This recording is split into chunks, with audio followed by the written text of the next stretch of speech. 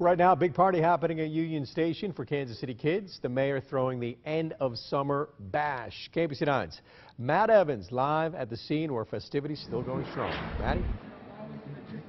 Well, the party continues here at Union Station. It's been going on since 4 o'clock this afternoon. As you can tell, lots of kids and youths out here having a good time. It's the last night for the Mayor's Night program here in Kansas City. Pretty soon, all these kids will be going back to school if they aren't already in school, and curfews will be lifted. Now, this party now marks the end to the third year of these programs and the third year of their youth curfew being in effect. An afternoon of flip, spun, face painting, and family activities put on by Mayor Sly James at his Rock the Block party. We can't tell kids where not to go and leave it at that. We need to give them an alternative.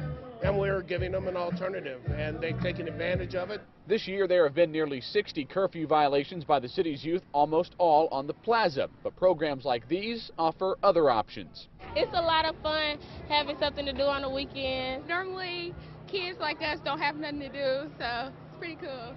Next year, the mayor hopes to give Kansas City's youth even more opportunities. We want to work on ramping up jobs next summer for kids. That's very important to them, to teach them what it means to work, give them a little spending money so that they know how to be responsible. These mayor's nights have allowed thousands of kids a place to hang out without worrying about breaking a curfew or getting in trouble.